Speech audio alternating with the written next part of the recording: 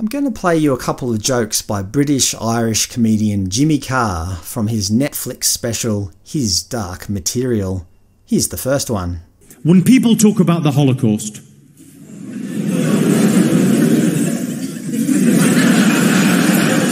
When people talk about the Holocaust, they talk about the tragedy and horror of six million Jewish lives being lost to the Nazi war machine. But they never mention the thousands of gypsies that were killed by the Nazis. No one ever wants to talk about that because no one ever wants to talk about the positives.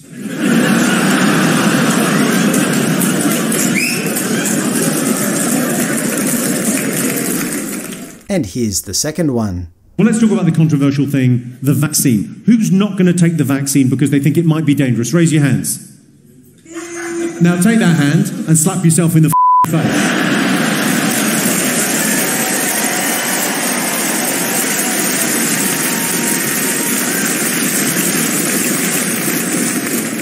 Do you hear that? That was the voice of reason, wasn't it?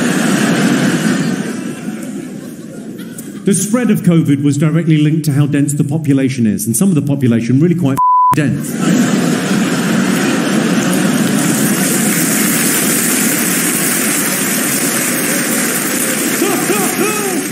In his own defence, he said he thought the first joke was fucking funny, edgy as hell, and had an educational value.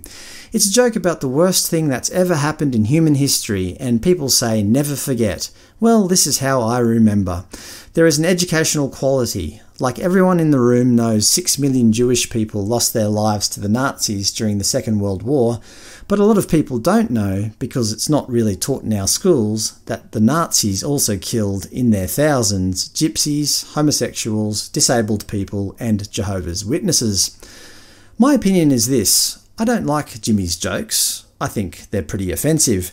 However, I'd prefer to live in a world where I get offended from time to time than one where someone tells us what we can or cannot say. I think it's pretty straightforward. If you don't like his jokes, good, don't watch him. That's what I'm planning to do. What about yourself? Should Jimmy Carr be making jokes about genocide and vaccination? Should he be cancelled?